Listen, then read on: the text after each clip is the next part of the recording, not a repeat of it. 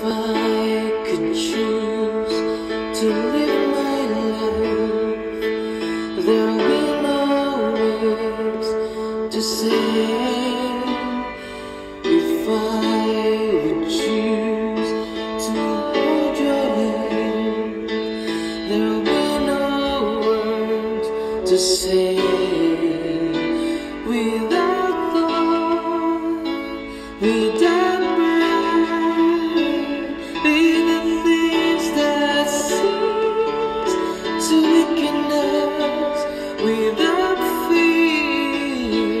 J'ai vu